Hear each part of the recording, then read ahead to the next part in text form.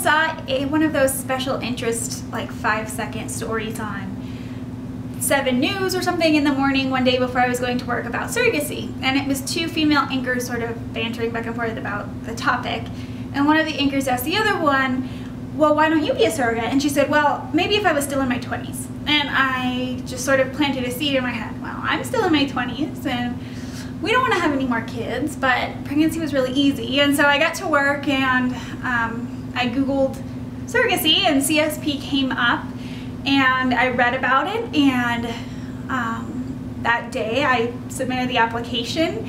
I can't remember if I submitted it before I told my husband or after, but um, I think I got a call that same day, if not the very next day, um, doing like a phone interview about it and it sort of just took off from there.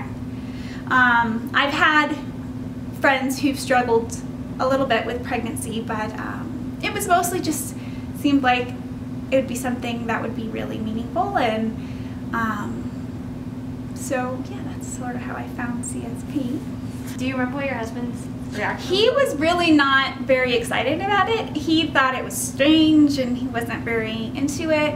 But he really got on board once we met the couple. Once we met the couple, he saw how much it would mean to them and he saw, you know, what this could be. And it, I think it really took off for him then. And um, after our first journey, he was actually more excited to do it again than I was, maybe because he doesn't have to carry the baby for nine. But you know, he was really he really got into it after we actually met the couple. So um, yeah, he was hesitant at first, but he's all on board now. So.